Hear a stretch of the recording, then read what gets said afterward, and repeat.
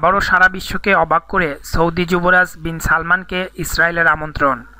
Saudi যুবরাজ মোহাম্মদ বিন সালমানকে ইসরায়েলের গোয়েন্দা মন্ত্রী তাদের দেশে সফরের আমন্ত্রণ জানিয়েছেন বলে একটি খবর প্রকাশ করেছে ইসরায়েলের প্রভাবশালী পত্রিকা হারেতস বুধবার প্রকাশিত এক প্রতিবেদনে হারেত জানায়, সৌদি পত্রিকা এলাপকে দেয়া সাক্ষাৎকারে ইসরায়েলি গোয়েন্দা মন্ত্রী কাজ এই আমন্ত্রণ জানিয়েছেন বলে ওই পত্রিকাকে নিশ্চিত করেছেন। যদিও পত্রিকাটি তার অনলাইন ভাষণে আমন্ত্রণের বিষয়টি সরিয়ে ফেলেছেন। ইসরায়েলি গোয়েন্দা মন্ত্রী তাজ আরও জানান, ফিলিস্তিনি ও ইসরায়েলের মধ্যে শান্তি আলোচনায় সৌদি আরব হতে পারে মধ্যস্থতাকারী দেশ।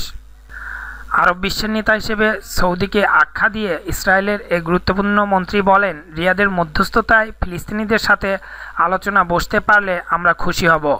ইসরায়েলি গোয়েন্দা মন্ত্রী মুখপাত্র শালিচার বলেন, মোহাম্মদ বিন সালমানের ওই সফর হবে ঐতিহাসিক, যদিও দুই দেশের মধ্যে কোনো কূটনৈতিক সম্পর্ক নেই।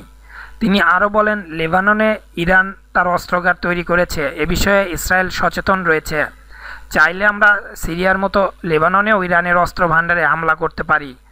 দুই হাজার ছয় সালে লেবাননের সঙ্গে দ্বিতীয় যুদ্ধের বিষয়টি উল্লেখ করে তিনি লেবাননকে হুঁশিয়ারি করে বলেন, দুই হাজার ছয় সালে যা হয়েছিল তা কেবল পিকনিকের মতো।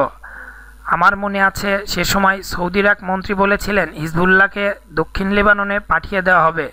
আমি তাদের বলতে চাই, আমরা যদি আবার লেবাননে যাই, তবে তাদেরকে প্রস্তর যুগে পাঠিয়ে দেব।